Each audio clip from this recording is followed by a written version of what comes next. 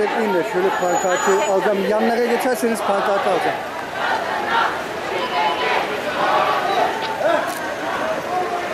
Buyur abi. Teşekkür ederiz.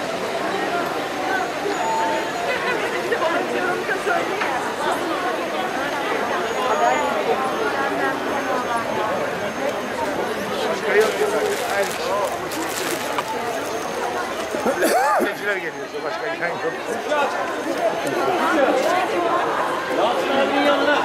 Kadına şiddete hayır. Kadına şiddete hayır. Kadına şiddete hayır. Şengüller nerede?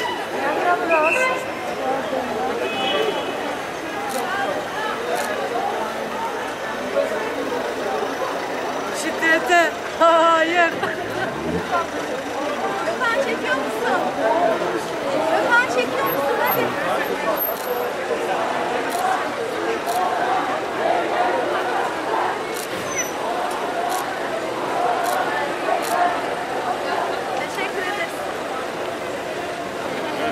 Kolay gelsin. Emekçi arkadaşım. Kolay gelsin. Sağ olun.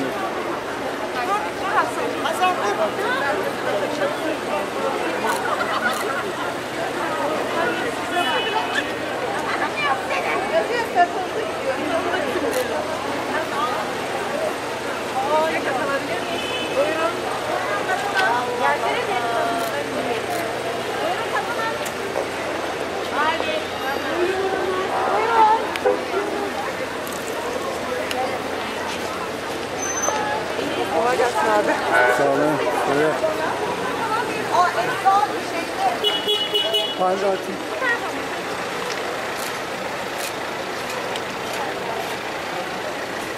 Esra bir panelden mi ne gelecekti bugün? Ha, tamam. Evet, sanki. Siz biraz yavaşlayın. Pandan.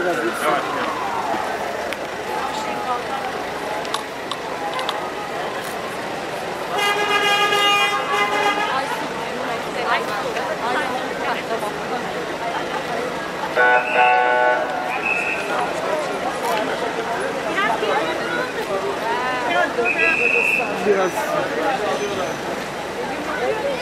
işte. Kadına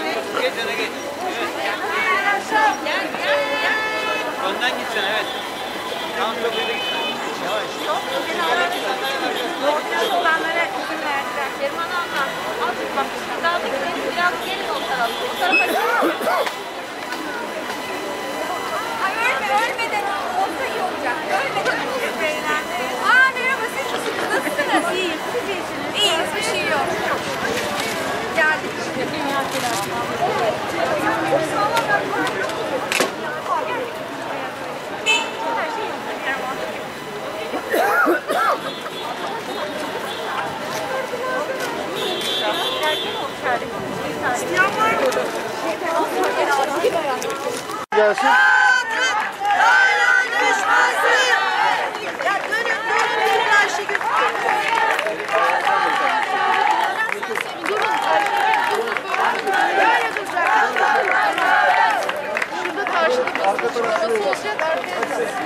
Şöyle dönün. Arkadaşlar biz böyle duracağız. Onlar öyle duracak. Biz bütün bu bileşenlerin anasıyız. Yani evet. Tamam mı? Buraya da gelsin. Arkadaki 29 Ekim. 29 Ekim buraya.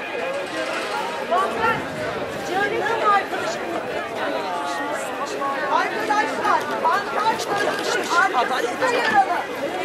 Pankartlarımızın arkasında yer alın. Çok fazla yer alın. Bütün pankartlar bir araya sığabilsin. ile her yıl 25 Kasım tarihi kadına yönelik şiddete karşı Uluslararası Dayanışma Günü olarak ilan edilmiştir. Kadına yönelik şiddetle mücadele, Türkiye'nin imzalamış olduğu uluslararası sözleşmeler ve Birleşmiş Milletler kararlarıyla da devletin öncelikli sorumluluklarından birisi olarak tanımlanmıştır. Türkiye Cumhuriyeti Anayasası kişinin dokunulmazlığı, maddi ve manevi varlığının tanımlandığı 17. maddesiyle herkesin yaşam hakkını garanti altına almayı ve kimsenin insan haysiyetiyle bağdaşmayan bir cezaya veya muameleye tabi tutulamayacağını taahhüt eder. Kadına yönelik şiddet bu anayasal hakkın ihlali anlamına gelmekte ve bu ihlalin önlenmesi için devlete önemli sorumluluklar düşmektedir. Dünyada ve ülkemizde sağ muhafazakar iktidarlar pandemiyi de fırsat bilerek kadın kimliğine dönük saldırılarını artırmaktadır. İktidar tekçi, gerici ve cinsiyetçi temelde oluşturmayı tasarladığı yeni toplumsal düzenin inşası için kadın kazanımlarını zayıflatmayı temel almış, baskı mekanizmalarını tümüyle seferber ederek kadınları ev içinde ve kamusal alanda iradesizleştirmeye dönük saldırılarına hız vermiştir. İstanbul Sözleşmesi'nin bir gece yarısı feslinden sonra şimdi de 6284 sayılı yasa gibi şiddeti önlemede etkili yasal kazanımlar hedef gösterilmekte ve eril yargının cezasızlık politikası kadına yönelik şiddetin artmasına neden olmaktadır. Artık samuray kılıçları ile dizayn edilen kılıçlar ile çıkarak kadınlar katledilmekte ve gücüm yettiği için hedef aldım denilebilmektedir. Eril yargı erkekleri koruyor, kadına yönelik şiddette, LGBT'lere yönelik nefret cinayetlerinde ve çocuk istismarında cezasızlık uygulamaktadır. Erkek için uygun bulduğu cezasızlık politikasına karşı kadınların kendi hayatlarını savunmak için geliştirdikleri öz savunmayı ise görmezden gelerek ağır cezalar vermekten çekinmemektedir. Ancak kadın cinayetleri katliam boyutuna ulaşmışken devlet kadınların can güvenliğini sağlamada yetersiz kalmaktadır. Basında yer alan haberlere ve anıt sayaca göre 2021'in ilk 11 ayında en az 340 kadın öldürülmüştür. Erkek şiddetinin giderek artmasında siyasi iktidarın din ve ahlak adına sıkça kullandığı cinsiyetçi, sözde muhafazakar söylemlerle kadını değersizleştirmesi, namus ve ahlak anlayışını salt kadına indirgemesi önemli etken olmuştur. Cinsiyetçi söylemler ders kitaplarına kadar girmiştir. Her gün en az üç kadının öldürüldüğü, onlarcasının tacize, tecavüze ve şiddete uğradığı, iktidarın açıkça kadınlara savaş açtığı bu sistemde kadınlar sadece nefes almak için bile mücadele etmek zorundadır. Aile içinde, iş yerlerinde, sokakta kadına şiddet gündelik hayatın bir parçası haline gelmiş. Özellikle son yıllarda kadın cinayetleri katlanarak artmıştır. Kadınları korumak bir yana onları kendi iktidarı için tehdit olarak gören siyasi iktidar, kadınların her türlü şiddet ve ayrımcılıktan korunması, kadınlarla erkekler arasında eşitliğin yaygınlaştırılmasını hedefleyen İstanbul Sözleşmesi'nden çekilerek tarafını belli etmiştir.